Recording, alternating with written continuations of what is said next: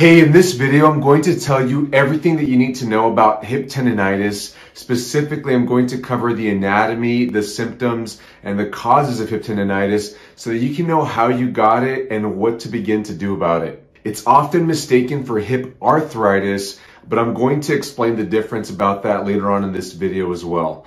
My name is Dr. David Middaugh and I'm a specialist physical therapist at El Paso Manual Physical Therapy. And this channel is dedicated to helping people stay healthy, active, and mobile while avoiding unnecessary surgery, injections, and pain medications.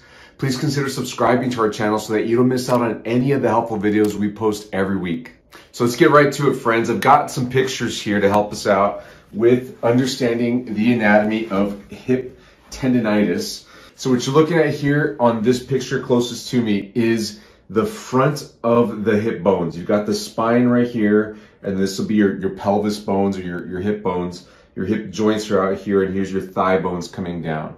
And what I want to highlight on the front here are the two hip flexor muscles the psoas and the iliacus muscle. They're often grouped together and they're called the iliopsoas group, but those are your hip flexor muscles which help you to pick up your leg like this. This is called hip flexion. And because those muscles are right here, they can be overused and cause hip tendonitis on the front of your hip. That's less common. The more common hip tendonitis is on the outside of the hip over here. And that's what's on this other side. This picture right here is showing you the outside. This would be the, the left hip. So this is the front, this is the back, here's the tailbone, here's the thigh bone. There's a little hole right here that's part of the hip bone. And then I've drawn some of the muscles here. There's tons of muscles. I've labeled them all right here. Um, but my drawing would get kind of messy. And um, there's pictures all over the internet. If you look, if you just Google hip muscles or hip tendonitis muscles, you'll find all the muscles that I'm talking about here. But just to give you a comprehensive list here, gluteus medius, gluteus minimus, gluteus maximus, I should have put it up here, the gemelli muscles, and there's a gemelli superior and inferior, so there's actually two gemelli, and two obturators, an internus and externus, but there's the obturator muscles. All these help with the rotation of the hip. The piriformis muscle is another one, and then the quadratus femoris muscle is the lowest of all those deep glute muscles. Now, the important thing to note about all of these muscles, let me show you on the hip of the skeleton here. If you look at the skeleton on the hip joint, all of those muscles that I just mentioned attach to this area of the thigh bone close to the body. And that's exactly where you can get that hip tendonitis to happen on the outside of the hip or on the front of the hip. That's what ties all these muscles together. There's so many to worry about. So many healthcare practitioners get confused and they start splitting hairs on, well, is it the gluteus medius? Is it the, uh, uh the minimus muscle? Is it the psoas? Could it be the quadratus femoris muscle? And one other muscle that I didn't mention that I think commonly gets involved is also the TFL muscle, the tensor fascia lata muscle. I didn't put it on the list here because it doesn't attach to this bone, but it's in the area and that muscle can often be used in the imbalance that sets up hip tendonitis. That muscle though attaches into the IT band, which is a big tissue, a big thick tissue that runs on the side of the hip and actually goes all the way down into the outer knees. So you've got hip pain on the outside front part of your hip and knee pain on the outside of your knee pain. You might actually have something called IT band syndrome, but it's also the same root problem as hip tendonitis. So this video is gonna help you out in understanding what causes it, just in case you get both issues happening simultaneously. Now the biggest symptoms that you're going to find for hip tendonitis is point specific tenderness. In other words, if you poke the spots around this hip bone right here on yourself and you feel tenderness right there and it's not deep it's more superficial kind of superficial deep you know in between it's on the tendon and muscle um, that's where you'll find the tenderness and that is that's how it's diagnosed um, you typically don't have a loss of motion you know you can move your hip joint all the way in every direction that you want to and you don't really have a lot of stiffness associated with this. Maybe a minor amount, but nothing that really stops you in your tracks. This tends to get worse as you use it more. And um, to be specific, if you, especially if you got this from exercise, you might actually feel better once you begin to exercise. But then as you as you progress through your exercise and you get towards the end of your workout, then it tends to feel a little more painful at that point. And then after you're done exercising is when it definitely tends to be painful. Now, for those of you that aren't exercising regularly, if you've got this and you're more of a person that does chores around the house, maybe yard work, or you like to walk for exercise, you're not really doing intense exercise, you'll probably feel these symptoms bothering you more as you go through your chores, your yard work, and towards the end of your walk, rather than at the beginning of your yard work, chores, and walk. Now, if you've got more tendonitis on the front of your hip, which to show you on myself, that would be about where the leg folds right in here. And if you're on the outside of the hip, the my hip bone, the top of my hip bone is right here. That would be the top of this. So this bone right here where you would find the tenderness is going to be down kind of on the on the outermost part of your your hip right here for me. And another way to find that bone, if you just put your hand on the outside of your hip right here and you twist your leg in and out like this, you'll feel a bump in there moving and what that is, is that's the bump rotating back and forth like this. So you can easily find that spot. It's kind of a big bone, but it's kind of hard to find for some people because it's so big they can't find a, a one spot on it that gives them certainty that they're on it. But if you move it around like that, then you'll you'll get an idea for for how big it is and where it is. And if you just poke the edges of it, then you'll find a tender spot, and that helps you to diagnose hip tendonitis. Now on the front of your hip, it's a little more challenging to find that point specific spot that gets you to diagnose the hip tendonitis.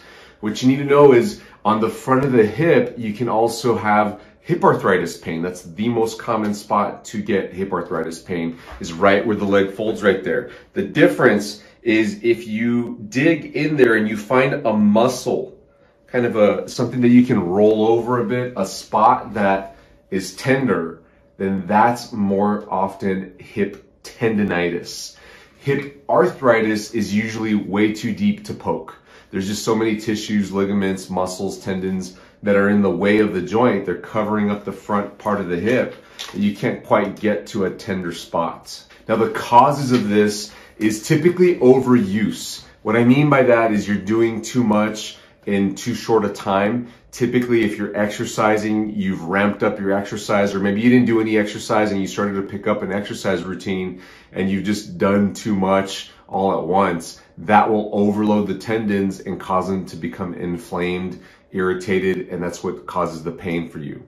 The most common forms of exercises that cause this are going to be running, using a bicycle, using an elliptical, and exercises that involve jumping, which could be team sports like basketball, football, soccer, those kinds of activities all obviously involve running and jumping and cutting, and they can use all those muscles that I mentioned in the hip.